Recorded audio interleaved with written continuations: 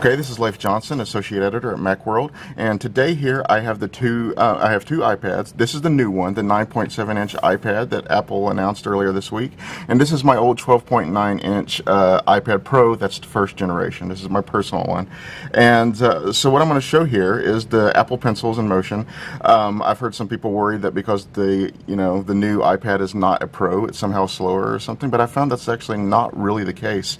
So what I also found is that you can't can't take one pencil from one device and write on another. I know some people are wondering that. No, that's not possible. But the nice thing is, is that the speed seems very nice. So here, I want to write my name on here.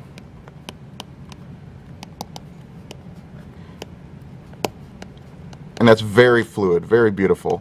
And as you can see, I don't think there's much lag at all. And uh, that's very wonderful both for writers and artists if you're trying to take notes. And uh, erasing is just, just, look at that it's very beautiful works very well. And uh, so let's try the next one. So we're going to move up here to the 12.9 inch uh, iPad Pro again first generation. So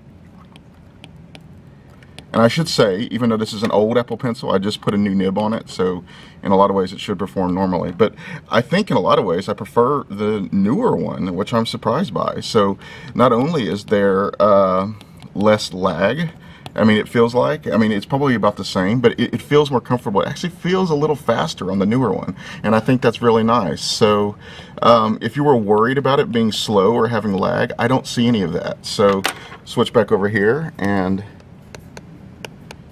beautiful. So, uh, yeah, and I'm using this on the Notability app, which I actually prefer for writing. Um, so, um, as I was saying on the podcast yesterday, that Notes Plus seems to work very well too. So, this is Notes Plus, and uh, look at that. Perfect. And I actually think that works better than it does. And say, nice thing about Notes Plus is you can just scratch stuff out.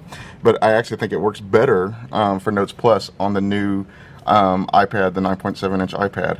So if you were worried about that, don't worry. Um, the pencil works great. So thank you, and we'll see you on the next podcast.